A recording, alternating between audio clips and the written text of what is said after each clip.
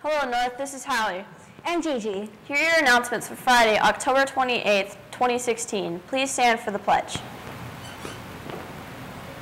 I pledge allegiance to the flag of the United States of America and to the republic for which it stands, one nation, under God, indivisible, with liberty and justice for all.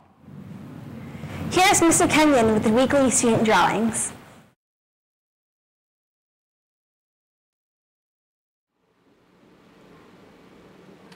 Good afternoon, Viking people. Here's what we're going to do. We're going to pick eight cards, and it's going to be a lot of fun. That's 12. Here we go. Our winners are Ryan Bollinger,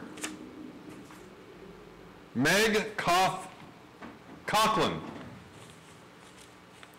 Micah McDonald, Adrian Albizo,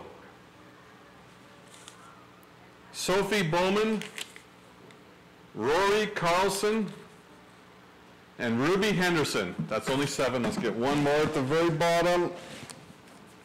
And our last winner is Aiden McLean.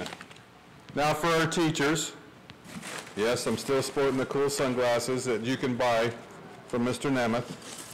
Teacher winner number one, Mrs. Oblendocker. Number two,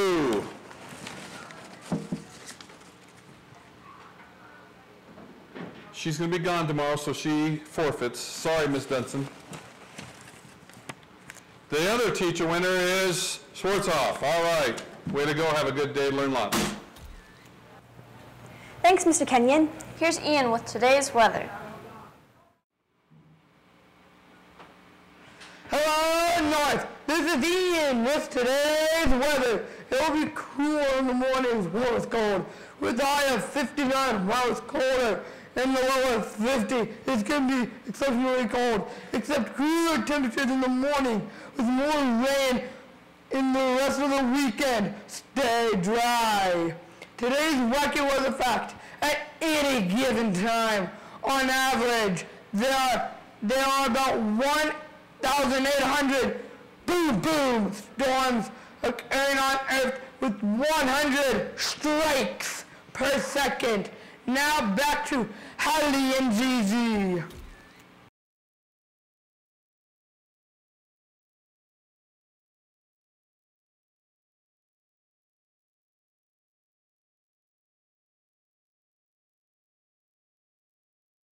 On drug use and health, summary of national findings. Tennis. It was a big day on the courts this Wednesday as the 7th grade Viking tennis team defended and won their city tennis championship title. We had a great time out there. Played well, played fair, and beat out the nearest competition by 12 matches. Sophia took third in girls doubles. Eddie and Chris took first in boys doubles, along with the third place for Trenton and Ben, and Tori Mason. JJ Barton took first in boys singles without dropping a single game out of nearly 20 games played. Fantastic work, seventh graders. Your coaches are proud of you. You're really looking forward to working together again in the eighth grade season. See you out on the courts, Viking. Play North Tennis. Library. Seventh and eighth graders, today is your final day to create your Battle of the Books team. If you have been carrying around your team form with you for days or even weeks, today is the day to get it turned into the library.